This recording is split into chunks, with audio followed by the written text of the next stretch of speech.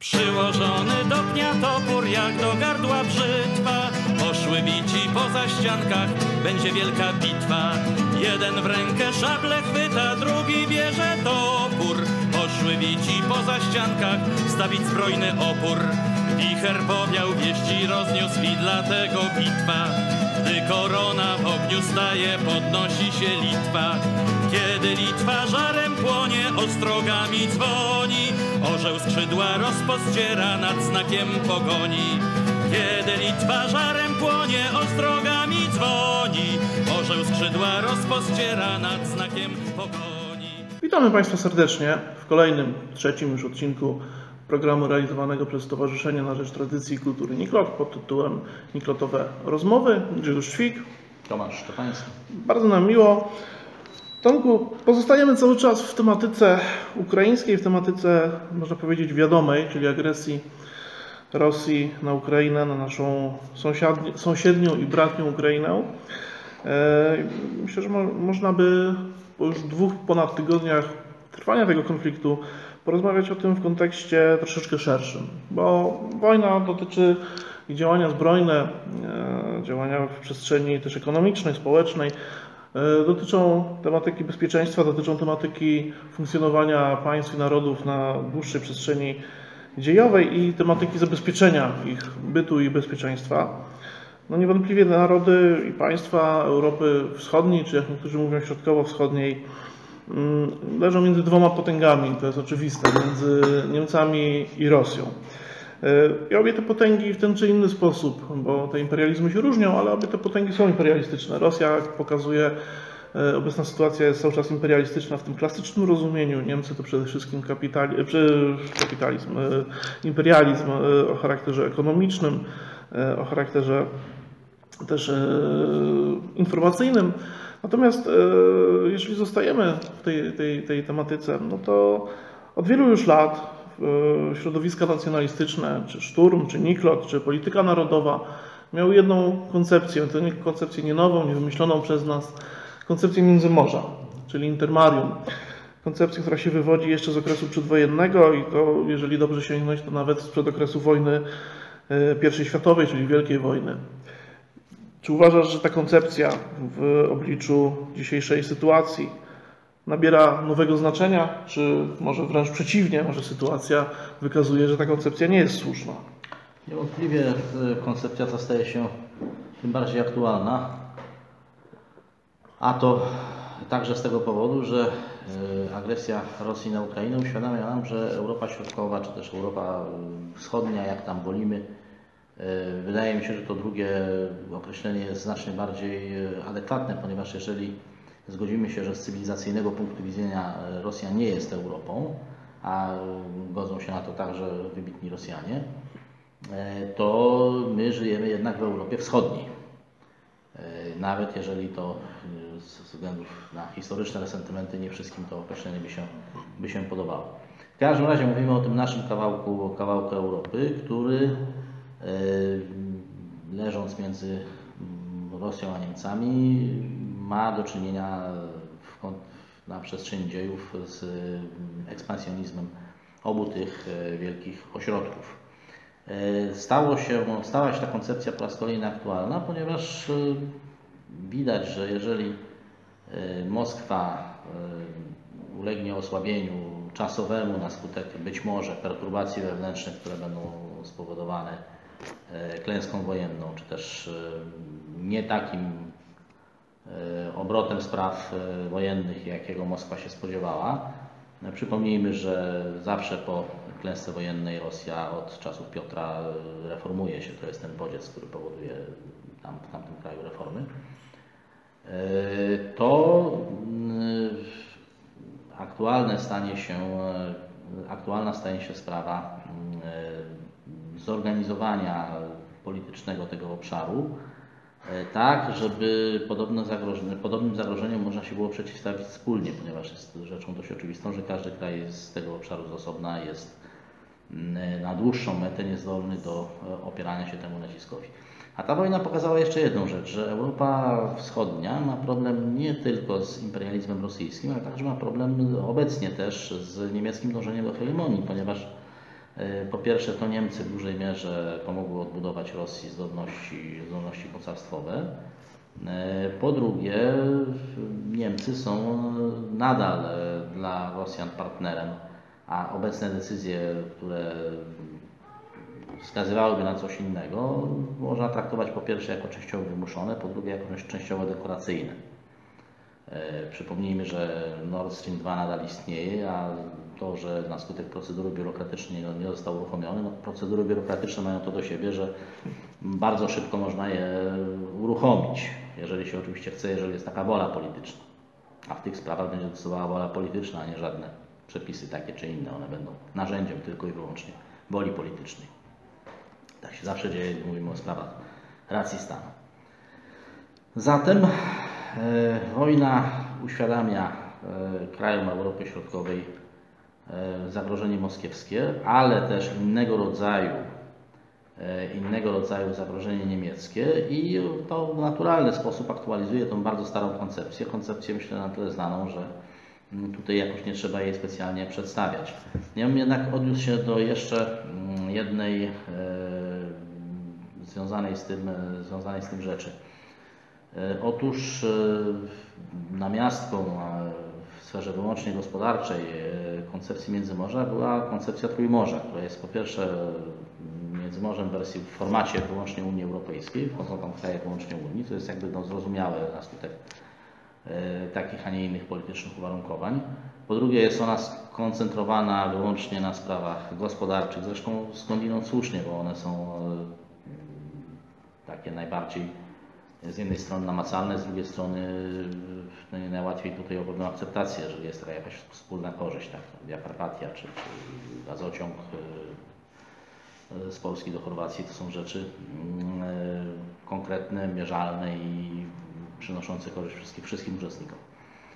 E, Niemniej jest rzeczą dość oczywistą, że ta koncepcja spotyka się z przeciwdziałaniem nie tylko Rosji, ale także Niemiec. Przecież cała ta walka o praworządność, którą tutaj Niemcy sponsorują i mimo tego, że mamy wojnę u sąsiada, nadal, nadal tym tematem się gra, jest między innymi po to, żeby wywrócić tutaj ten układ, który tego typu pomysły, jak, jak Trójmorze robi i żeby przywrócić znowu układ władzy nastawiony na współpracę z Niemcami. Tutaj mówię oczywiście o naszym obozie europejskim, o Platformie Obywatelskiej. E, I e, fakt, że także wtedy, gdy jest wojna, gdy mamy do czynienia z e, ponad milionem uchodźców, e, nadal e, jesteśmy ze strony Unii Europejskiej, czyli Niemiec, no, trzeba sobie jasno powiedzieć, uderzani, y, pokazuje, że y, te wszystkie niemieckie gesty o tym, jak bardzo, jak, jak bardzo są y, przeciwni rosyjskiej agresji i tak dalej, nie zmieniają faktu, że e, wysiłki e, krajów środkowoeuropejskich na rzecz podmiotowości spotykają się także z wrogą reakcją Niemiec. A jeżeli tak, to możemy się spodziewać, że również e, e, Rosja w tej sytuacji dla Niemiec e, po krótkim zawirowaniu przestanie być obiektem krytyki, a stanie się tym, czym od nie dziesiątek, ale od setek lat z przerwami na dwie wojny światowe była, mianowicie potencjalnym, pożądanym partnerem przeciwko krajom Europy Środkowej. No właśnie, bo to nie jest tak, jak niektórzy uważają, że koncepcja Międzymorza nagle zmartwychwstała, bo Rosja okazało się, że jednak nie jest taka racjonalna w tym naszym europejskim e, rozumieniu tego słowa. E, Międzymorze było aktualne od momentu, kiedy powstała tylko ta koncepcja. Można się zastanawiać, na ile można było to Międzymorze już przed wojną powołać. Wydaje się, że pewne, czy z jednej strony słabość pewnych środowisk, e, przykład białoruskich, czy niechęć litewskich, czy zmęczenie społeczeństwa ukraińskiego no, uniemożliwiało stworzenie Międzymorza w trakcie walk o granicę i niepodległość. Natomiast w takim ujęciu szerszym nie tylko właśnie, tak jak powiedziałeś, kwestia e, Rosji, która, która okazuje się, że no właśnie napada na kraj, który nie jest związany z sojuszami, a jednocześnie z drugiej strony, mm, czyli nie ma tego sojuszu między morza, a z drugiej strony Polska, która jest w NATO i oczywiście to, to nie jest tak, że my całkowicie dezawuujemy NATO. NATO ma swoją wartość. Rosja nie bez powodu na państwa NATO, przynajmniej póki co jeszcze nie napadła. Natomiast y, państwa, które są w NATO są bardzo niejednorodne, nie, nie, mają różne cele polityczne i o ile państwa bałtyckie, Polska, y, Czechy, Słowacja, państwa na południe od nas, można powiedzieć, że mamy określoną y, jednorodność naszego losu, naszych dążeń i, i naszych oczekiwań, no tyle Niemcy będą patrzyły na to już zupełnie inaczej. A nie mówimy tu tylko o Niemcach, nie mówimy tu tylko o Rosji, no bo koncepcja Międzymorza pochodzi z początku XX wieku, mamy wiek XXI i te zagrożenia, jakie idą, jakie się pojawiają wobec narodów, wobec społeczeństw, są troszeczkę też szersze, bo to nie tylko kwestia wpływu Chin, która, które prawdopodobnie w ciągu 5-10 lat staną się pierwszą już gospodarką świata, e, ale także wpływ e, czynników ponadgranicznych, ponadnarodowych.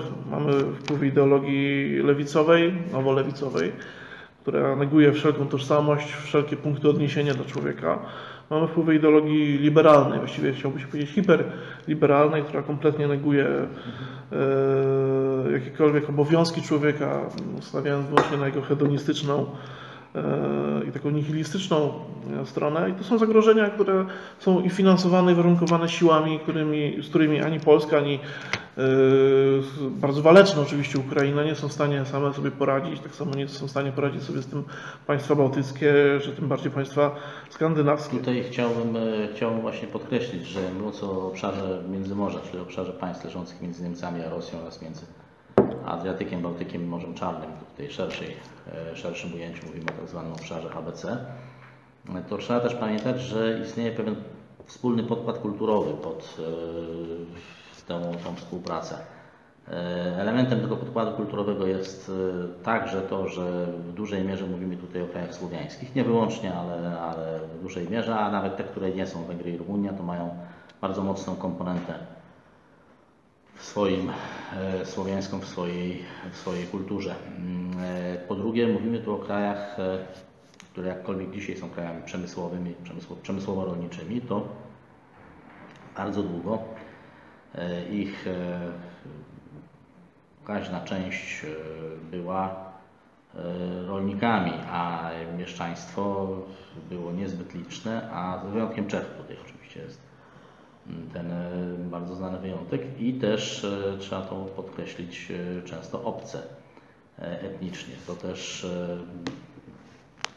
komponenta agrarna w kulturze, czy to jest kultura chłopska, czy to jest kultura szlachecka, E, zresztą w wypadku Polski, która miała tej szlachty bardzo dużo i miała te warstwy takiej szlachty zaściankowej, zagrodowej, które były przecież bardzo bliskie kulturze ludowej, to e, jest czymś wyróżniającym także wobec, także wobec Zachodu. No i tutaj na to się nakłada, związany z tym, co powiedziałem poprzednio, związany także z tym częściowo takim agrarnym charakterem pewnych podstaw kultury. Na to się nakłada oczywiście pewien taki zdrowy konserwatyzm, właściwy, właściwie także rolnikowi, który wie, że pewne rzeczy są związane z biegiem natury i prawami natury.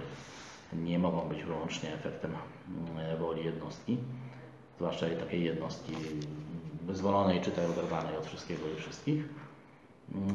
I wspólne doświadczenie komunizmu e, też jest tutaj jakimś czynnikiem łączącym, ponieważ komunizm możemy traktować także jako e, wyraz e, pewnych uroszczeń człowieka, który zapomina o istnieniu, o istnieniu natury i jej praw.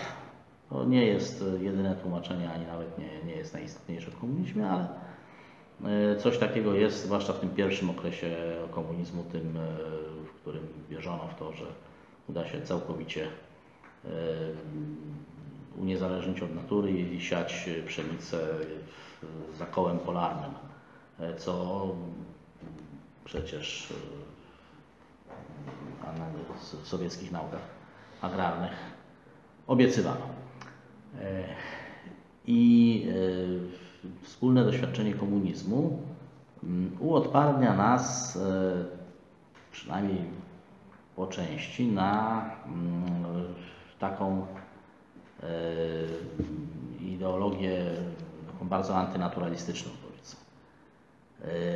Na te wszystkie pomysły, że wbrew naturze istnieje tam, nie wiem, 50 parę płci, czy może 150 i tak dalej. Oczywiście patrząc na nasze elity można powiedzieć, że jednak, że jednak się mylę, ale ja bym zwrócił Państwa uwagę na fakt, że no, oprócz elit istnieje jeszcze duża część narodu, która potrafi zachować wobec nich jakiś tam dystans, o czym świadczy kilka ostatnich wyborów, tak, wyniki kilku ostatnich wyborów. A po drugie, Szanowni Państwo,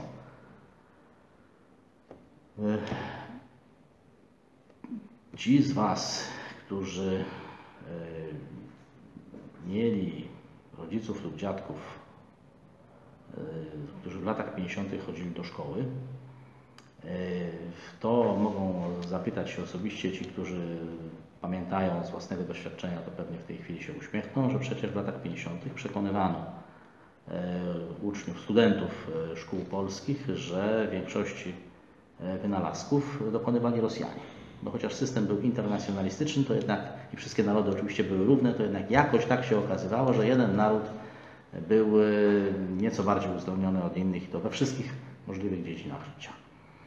E, I jestem przekonany, że i wśród Państwa tutaj słuchających nas w tej chwili są osoby, które mm, nie tylko to słyszały, ale i powtarzały po to, żeby uzyskać zaliczenie E, jakiś e, lepszy mm, stopień z odpowiedzi, czy, czy, czy, czy jakiś inny bonus. Mm, I pytanie jest następujące. Ilu obrońców tez, że istnieje 50 parę płci i że e, murzyni są twórcami wielkich cywilizacji i tego typu innych test nowoczesności Y, ilu z tych ludzi robi to dla otrzymania grantu z, zachodu, czy dla ułatwienia sobie kariery, ogólnie mówiąc dla miłego grosza, mm, a ilu z prawdziwego przekonania. Y, jednym z takich ujemnych aspektów doświadczenia komunizmu jest także to, że ludzie nauczyli się mimikry mm, i do powiedzmy sobie 1956 roku w Polsce ta mimikra mogła być mimikrą e, stalinowsko-rusofilską, natomiast e, po 1989 roku będzie to mimikra e, proniemiecko-liberalna, filosemicka, postępowa, ale nadal pozostanie mimikrą i w chwili próby politura opadnie. No tu jeszcze wrócił do tych, tych różnic między poszczególnymi częściami Europy. Ja również się zgadzam z tym, że zresztą to, to tak jak wspomniałeś, to jest koncepcja, którą przyjmują sami Rosjanie, że oni wytwarzają specyficzny, odrębny rodzaj kultury i cywilizacji od europejskiej, więc tutaj raczej trzeba przyznać rację Spenglerowi, że Europa dzieli się na tak naprawdę dwie Europy, czyli Europę wschodnią i zachodnią i one tak naprawdę stanowią zupełnie odrębne jakości, zupełnie odrębne strefy. Oczywiście mają pewne wspólne elementy, ale jak się przeczyta Zmierzy Zachodu, to nie bez powodu tam jest perspektywa taka na zachód od Odry. Właściwie o, o, o Rosji są tylko kilka razy autor wspomina w kontekście tak zwanego myślenia e, magicznego. No jeżeli mamy właśnie tą Europę wschodnią, e, to oczywistą oczywistością e, jest to, że będziemy dążyli w dobie przezwyciężenia już pewnych historycznych resentymentów do wspólnego występowania.